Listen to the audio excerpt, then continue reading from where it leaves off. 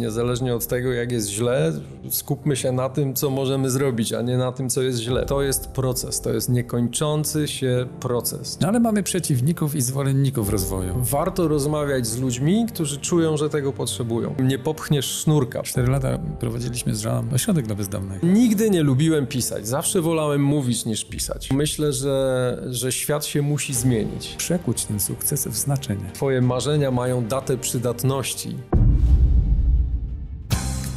Bogdan Smolosz przedstawia Kochaj, służ, dbaj. Zachęta pełna inspiracji, troski i zainteresowania. Czyli audiobooki, nagrałeś ich sporo. Tak. Twój głos się rozszedł. E, Tłumaczeń dużo. Co jest twoim podstawowym zajęciem? Moim podstawowym zajęciem w tej chwili ciągle jest tłumaczenie e, materiałów audio i wideo. Czyli ktoś mi przysyła nadal właśnie nagranie wystąpienia jakiegoś albo jakiś film, który mówi po angielsku. Mhm. E, I ja to tłumaczę, idę do studia mojego, do, dogrywam moją Mhm. ścieżkę, miksuję to i, i powstaje wtedy nagranie z, z moim głosem. Tak? I Czyli kto mówi- przychodzi mówi z takim angielsku. zleceniem? Wiesz co, to są z reguły mm, wydawnictwa, to są ludzie, którzy mają firmy szkoleniowe i szukają, Mhm. e, no właśnie, kupują jakiś program szkoleniowy e, zagraniczny, tak, Mhm. anglojęzyczny i chcą go sprzedawać w Polsce. No to trzeba go dostosować. Aha. Chociażby no cały John Maxwell Tak. Team, właśnie wszystkie materiały, z których członkowie Aha, to z czego się, uczą, uczę, to tłumaczyłeś. no to musiało przejść przez, przeze Okej. mnie, prawda? Bo to wszystko y, mam mówić po polsku. No więc to jest moja podstawowa e, praca, ale powiem ci, że już trochę myślę bardziej dalekosiężnie i dzisiaj ciągle, wiesz, no mam świadomość tego, że to jest zamienianie czasu na pieniądze. Bardzo miłe, wiem, że mam do tego talent, że robię to fajnie i wszystko jest dobrze, ale jednak to jest ciągle praca, w której ja zamieniam czas na pieniądze, prawda? Muszę szukać klienta, wykonać usługę, wystawić fakturę i klient musi mi zapłacić. Jak nie wykonam, to nikt mi nie będzie płacił.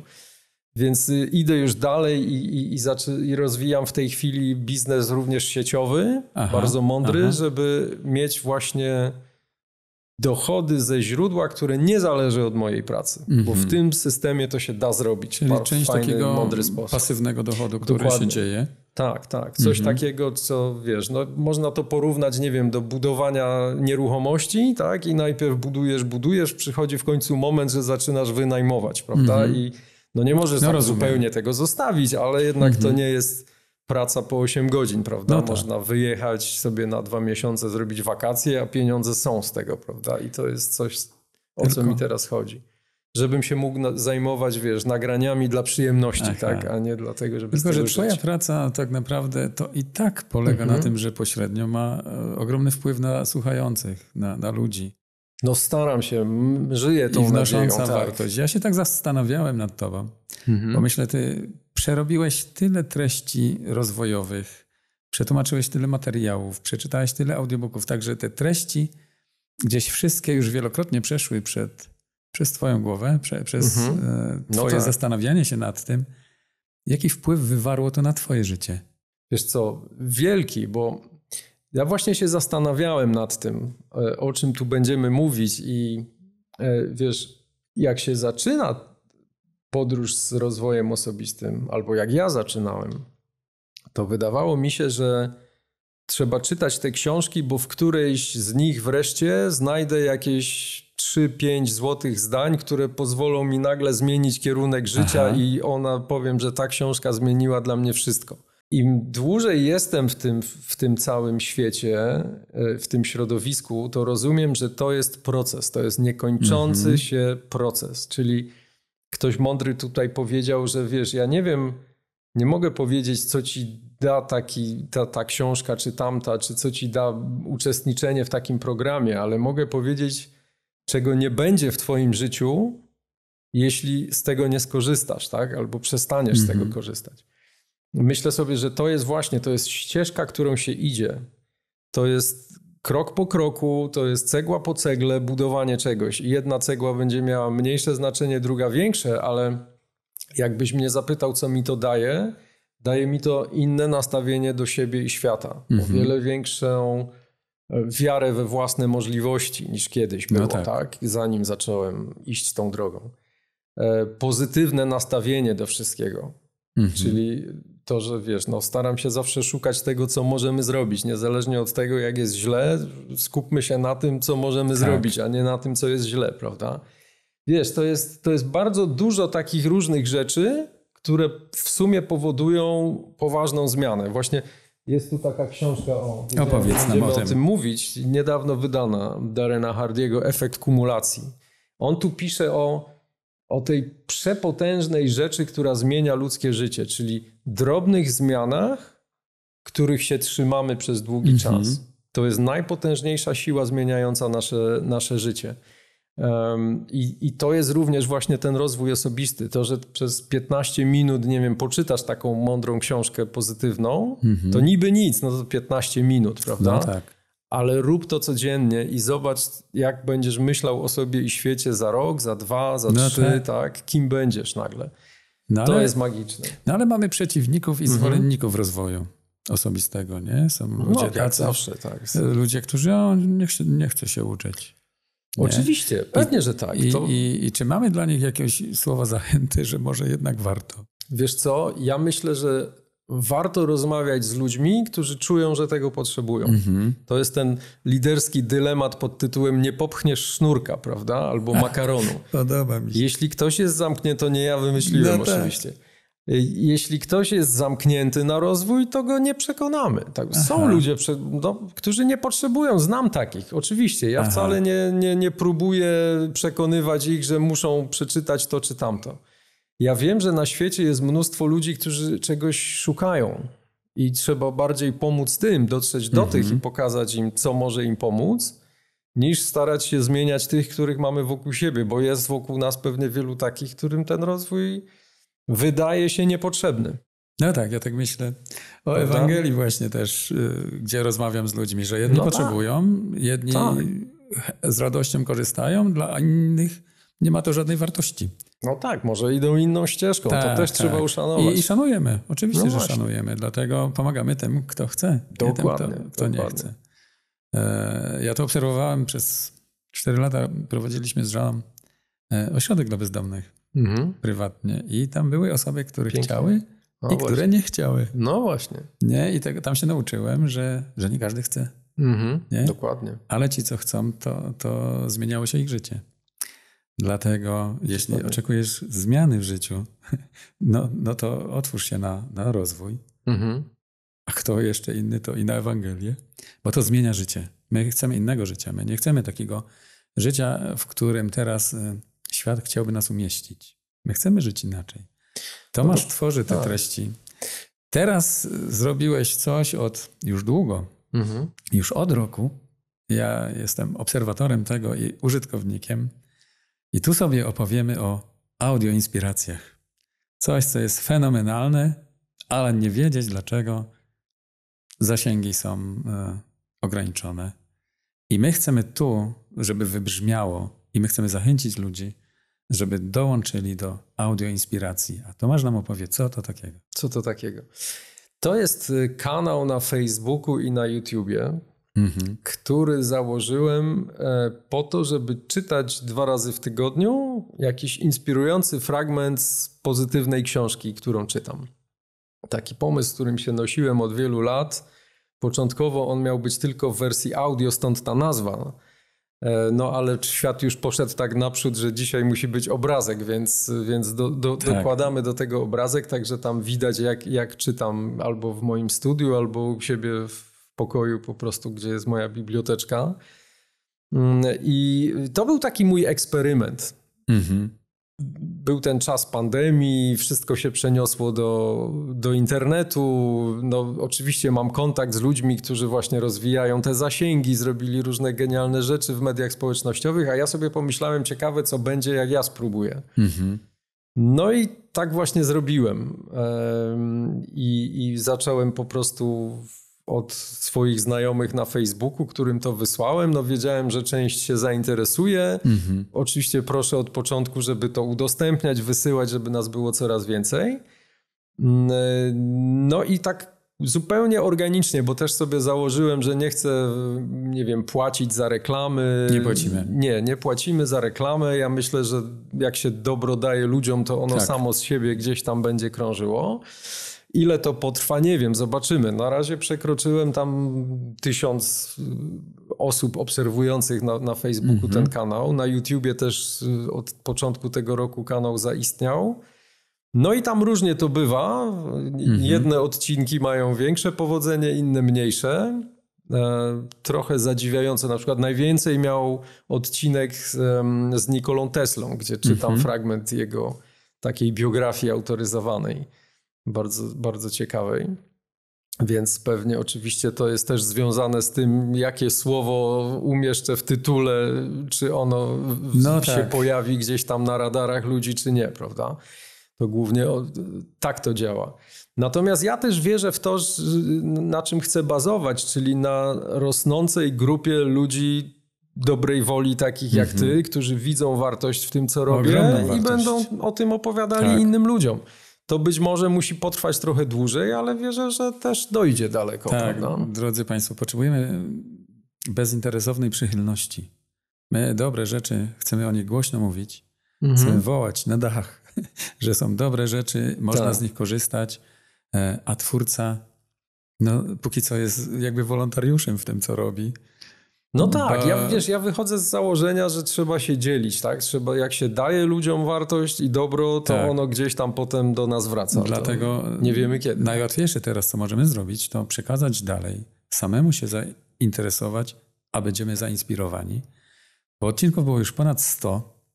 E, Pierwszy rok mieliśmy takie spotkanie online, że wymienialiśmy się pomysłami. Ja bym Mhm. cię jednak zachęcał, żeby zrobić to również w formie podcastów. Podcastu. na, na tak, Spotify. czy- Muszę czy tam- wrócić też no, do... Bo to, bo świata to jest e, swojego. najłatwiejsza treść. Te odcinki nie są długie, nie martwcie się. Mhm. jest Tak, takie tak, to ma być parę minut Około rano. kilku minut do 10 minut, gdzie tej wartości pozyskujemy na dany dzień, to jest poniedziałki i piątki rano. Poniedziałki, premiery są w poniedziałki i piątki o Tak. 8.45, ale można sobie I czujecie obejrzeć się kiedy zaproszeni? Tak, oczywiście, Czujcie zapraszamy. się zaproszeni. Z ciekawości zobaczcie. Wpadajcie tam do Tomasza i róbcie te lubię to i tam chyba obserwuj teraz jest. Już nie ma lubię to. Obserwuj, tak, obserwuj, Znieśli udostępnij. nasze lubię to. Jest obserwuj. Nie zobserwuj. No, tu wartość może też polegać na tym, że ponieważ ja uczestniczę w takim klubie mm, rozwoju osobistego, my mamy dostęp do nowości różnych rynkowych, takich pozytywnych. Czasami jest ten problem, że właśnie ja potrzebuję zdjęcie okładki, żeby tam umieścić w odcinku, a No. jeszcze nie ma, bo, bo książki jeszcze nie ma. My już to dostajemy, więc Aha. Możecie zobaczyć, co jest na rynku nowego, Tak, prawda? tak. Bo to są Pod tym kątem często przeglądamy, dostajemy. co jest nowego. Nie? Ja Tak. wyobrażam sobie, że twoja biblioteczka jest oszałamiająca. Wiesz co? W, w, nie wiem, czy jest oszałamiająca. Ona jest dla mnie bardzo wartościowa, bo to są wszystko książki, które ja przeczytałem. Nie, że je Mhm. mam. Ja je wszystkie przeczytałem. Może nie od deski do deski każdą, ale jednak. Część e, daję dalej, Mhm. Bo, bo nie chcę aż tak wielu tych książek trzymać tylko po to, żeby były. Niektóre Taką pojedynczą idą. dajesz dalej? Tak, ja z reguły raz w roku robię takie czyszczenie, tak? Jak widzę książkę, książkę która mnie jakoś nie porwała, albo wiem, że nie, już do niej nie wrócę, to pakuję do paczki, zawożę do biblioteki, tam panie Aha. zawsze chętnie przyjmują. A to niezwykłe, fajne. i, I niech to idzie dalej, tak? Może Okej. kogoś No. bardziej poruszy ta książka. Aha. Więc ja, wiesz, właśnie staram się nie gromadzić za wielu rzeczy, więc ta moja biblioteka nie jest jakaś wielka, ale są tam naprawdę ważne Pozycje, dla mnie które są pozycje. wartościowe dla ciebie. Dzisiaj już na pewno też trzymam takie, z których potem wiem, że wyjmę i przeczytam coś w audio A jak często wracasz do, do przeczytanych już książek? Właśnie widzisz, to jest coś, e, słusznie, że mi zwracasz uwagę. Rzadko wracam. Z, z czego to się bierze? Bo wciąż napływają nowe, tak? Bo Mhm. ciągle, a teraz to już w ogóle, bo tu mi zaczynają polecać, a tu mi ktoś ksero Mhm. przyśle, a tam to musisz przeczytać, a może by z tego. I w, ja nag, nagle mam, wiesz, listę ośmiu książek, które czytam jednocześnie, więc nie ma jakby trochę czasu do tego, żeby wrócić, ale audio inspiracje mnie do tego e, no, skłaniają niejako, bo, bo pamiętam, że była świetna książka, więc oczywiście wracam do niej w poszukiwaniu jakiegoś kawałka i oczywiście, że znajduję, tak? Bo to są książki, które można czytać całe życie, prawda? Właśnie Pięknie. chciałem ciebie zapytać, jakie ty masz wrażenia, kiedy czytasz drugi raz tę samą książkę? Co odkrywasz? Wiesz co, ja się tego chyba nauczyłem czytając Biblię, bo tam wracam no od, tak, od no, prawie 40 lat cały no czas. Tak, jest... I czytam te same treści powielok powielokroć. I odkrywam nowe rzeczy. I w mhm. książce nie jestem chyba tak bystry, że, że mogę zapamiętać wiele, dlatego wracam, bo często łapię się na tym, a ja tego nie pamiętam z poprzedniej edycji czytania. Więc mhm. dobrze, że do tego wróciłem i może coraz bardziej się skupiam na tym, co, co czytam. W spokojnym czasie zawsze ja idę do lasu i czasem parę godzin słucham audiobooka.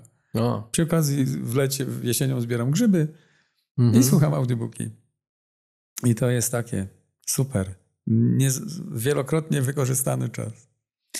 E, mhm. Lubię książki. Jak kiedyś się czytało więcej, oczy były lepsze. No i, a teraz zostało to słuchanie.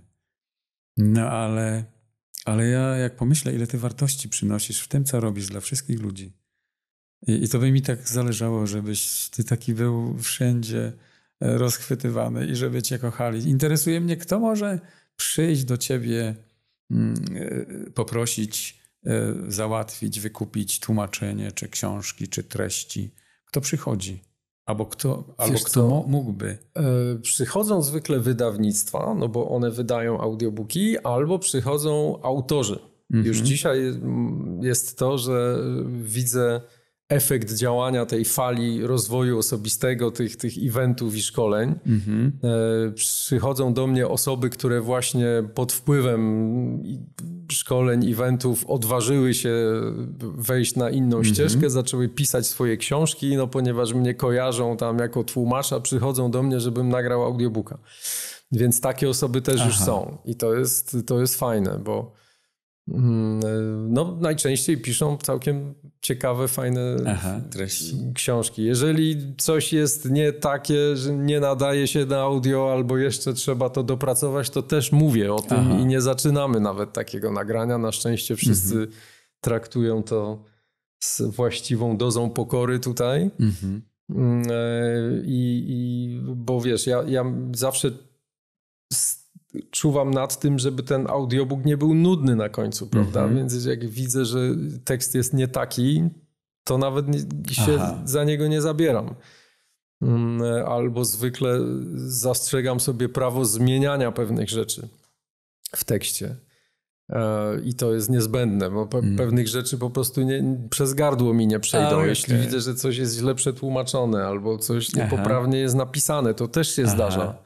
Nawet w tych książkach od wydawnictw dużych, które dostaję. Okay. No to ja zmieniam zawsze to, prawda? Potem czasami mamy napięcia w związku z tym, a okay. dlaczego pan to zmienił? A no to dlatego, aha, a czy to słusznie, okay. czy niesłusznie? Bo też no, różne podejście aha. mają wydawnictwa. Jedni mówią, my mamy do pana zaufanie, w ogóle nie będziemy słuchać tego, co pan nagrał, a inni zatrudniają kogoś, kto siedzi z książką i przesłuchuje Naprawdę? minuta po minucie i mówi, dlaczego pan tutaj przeczytał Aha. tak, a nie tak. No, no tak, różne są Aha. podejścia. Okej, okay, ja to szanuję i potem jest trochę siłowania albo poprawiania moich błędów. To absolutnie Powiedz, też się zdarza.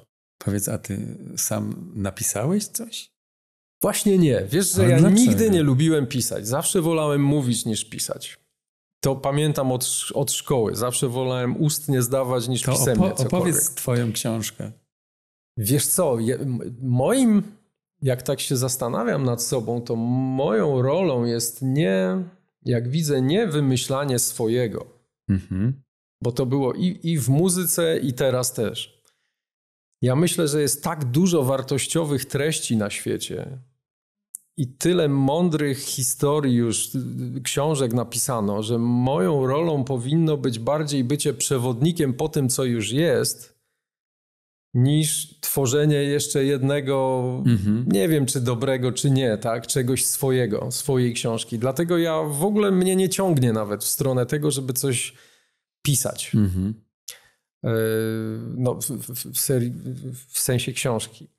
Natomiast fascynujące dla mnie jest to, że mogę właśnie odkrywać coś ciekawego i pokazywać ludziom, że to jest, prawda? To, mhm. jest, to jest moja misja. Ja mam być takim właśnie tutaj posłańcem i przewodnikiem. Wiesz, w dzisiejszym świecie, który nam daje dostęp do milionów różnych opcji, ja zawsze mówię, coraz ważniejsza jest rola sitka jakiegoś, tak? Jakiegoś Żeby... filtra, który powie z tych dwóch milionów tak. posłuchaj tych dwudziestu, tak. prawda? To to ci coś da. No więc ja właśnie chcę być tym filtrem, który pokaże co ci się no może właśnie, przydać albo spodobać. Możemy mieć pewność, że to, co Tomasz czytał, e, czy tłumaczył, to możemy spokojnie po to sięgnąć, bo to nie będzie stracony czas. No, myślę, tak. że tak. Myślę, że no tak. właśnie. Powiedz mi, czy ty masz, czy czujesz się zabiegany? Wiesz, nie, ja dbam o to, żeby nie być zabieganym. E, I no, moja praca jest też taka, że ja nie muszę biegać, prawda? Bo, bo mhm. to jest praca albo u mnie w domu, albo u mnie w studiu, więc mm nie czuję się zabiegany, co nie znaczy, że nie czuję się zapracowany. Ja jestem zapracowany, Aha. ale ta praca to jest często coś, co ja chcę zrobić po prostu. Mhm. I e, tak mnie czasami pytają, czy gdzie jadę na wakacje. Ja mam taką zmianę, pamiętam, wiesz, jak przestałem pracować na etacie, gdzieś tam w 2003-2004 roku chyba, to przestałem czuć potrzebę urlopu. Mhm. W czasie, kiedy musiałem być codziennie na godzinę taką i taką, to bardzo potrzebowałem tego, żeby gdzieś wyjechać na urlop. Odkąd sam kieruję swoją działalnością i firmą, nie czuję takiej potrzeby. To e, wszystko, co robię, to jedna wielka. No może nie, że jedna wielka, ale jakoś, wiesz, mam, mam to życie w takim swoim e, rytmie ustawione i to jest dla mnie wielka wartość. Jestem mm -hmm. za to mhm. bardzo wdzięczny, właśnie, że nie muszę gdzieś tam jeździć, stać w korku i codziennie mm -hmm. tą mhm. samą ulicą i w te i we w te. Tak. E, miałem parę lat takich, że nie wiem, dziecko do szkoły odwoziłem gdzieś tam, bo sobie wymyśliliśmy, żeby chodziła tam do jakiejś dobrej szkoły, ale w w którymś momencie podliczyłem, ile czasu miesięcznie spędzam w samochodzie tylko po to, żeby ona dojechała tam i wróciła do domu i przenieśliśmy ją do szkoły blisko, Aha. gdzie... To mogłeś audiobooki słuchać wtedy. Ro, rowerem. No z dzieckiem nie za bardzo, bo to W powrotnej drodze. W powrotnej drodze może, no ale ona chciała czego innego no, słuchać, tak. więc nie chciałem już tam męczyć. Nie, za mała była jeszcze wtedy. Powiedz mi, ty długo mieszkasz w tym miejscu, gdzie teraz mieszkasz? W sensie miasta? Czy no. w Katowicach to ja mieszkam od 92 roku. To był taki ważny rok dla mnie. Wtedy mm -hmm. to skończyłem studia właśnie, zacząłem pracę w tym radiu i zacząłem mieszkać w A Katowicach. A wiemy skąd pochodzisz? A pochodzę z, wiesz, urodziłem się w Mysłowicach, mm -hmm. czyli tu niedaleko tak, tak. stąd, ale jak miałem roczek, to moi rodzice się przenieśli do Jastrzębia Zdroju, wtedy Naprawdę? burzliwie rozwijającego no. się miasta bo tam y, były mieszkania, tak, możliwości zarabiania pieniędzy, więc całe dzieciństwo, młodość do studiów spędziłem mieszkając w Jastrzębiu i potem, potem przyjechałem tutaj i już zostałem w Katowicach, także jestem tu cały czas. Ostatnio coraz częściej się zastanawiam, dlaczego właściwie, ale Aha. jestem. No, centrum Katowic to nie jest to. No nie jest, tak. Mieszkałem w centrum, mieszkałem na osiedlu Tysiąclecia, potem w centrum i teraz poza centrum, już na tak, obrzeżach zupełnych, tak, bliżej tu Mikołowa właśnie, gdzie ty Super. miałeś swoją siedzibę. Po, powiedz tak sam od siebie coś. Co byś chciał powiedzieć o Tomaszu? Chciałbym powiedzieć może to, że właśnie staram się być takim przewodnikiem, bo myślę, że, że świat się musi zmienić. Że wiele osób pewnie czuje, że musi się zmienić. Tak, myślę. E, I do tych, którzy czują, że, że, że musi się coś zmienić, e, to mam przekaz taki, że, że mogę ci pomóc tak, na różne sposoby, nie tylko przez te książki, także przez inne historie. Mhm. E, jeśli szukasz zmiany jakiejś, masz dość tego, co robisz dzisiaj i czujesz, że możesz robić co innego, to się skontaktuj, możemy porozmawiać i mogę ci w tym pomóc. Mhm. To, jest, to jest taki mój przekaz do kogoś. Mhm. Widzisz, to trochę tak właśnie a propos tego, o czym mówiliśmy wcześniej, prawda? Że tu nie chodzi o to, żeby zmieniać świat na siłę wokół siebie, tak. bo tylko sobie wrogów narobimy. Ja myślę, że właśnie trzeba szukać tych, którzy czegoś szukają. Mhm. Więc ja szukam tych, którzy czegoś szukają i tym ludziom mogę pomóc, mogę coś zaproponować. E, a media społecznościowe dzisiaj, internet w ogóle, są genialnym rozwiązaniem, w, które pomaga się odnaleźć ludziom myślącym podobnie. Mhm. Niezależnie od tego, gdzie mieszkają, prawda? Tak. Bo my dzisiaj mieszkamy daleko od siebie, e, a jednak się odnaleźliśmy. I siedzimy Właśnie, tu wspólnie. No teraz siedzimy tu wspólnie, ale jak ty jesteś w domu i ja jestem w domu, jesteśmy kilkaset kilometrów mhm. od siebie, ale co to ma za znaczenie, prawda? Bo w tym mhm. miejscu online jesteśmy w stanie się spotkać, bo nas łączy wspólna idea, zainteresowanie i to jest główna rola moim zdaniem mediów społecznościowych, że są w stanie połączyć właśnie ludzi czujących podobnie, interesujących się tym samym, niezależnie od tego, w mhm. którym miejscu kuli ziemskiej mieszkają, prawda? No. Więc jeśli czegoś szukam, szukasz, to, to zapraszam, porozmawiamy. No, jakaś taka twoja oferta biznesowa, która pomogłaby ci, nie wiem, jeszcze zarabiać, czy, czy coś dorobić? Wiesz co, ona może wyniknąć właśnie z tej rozmowy.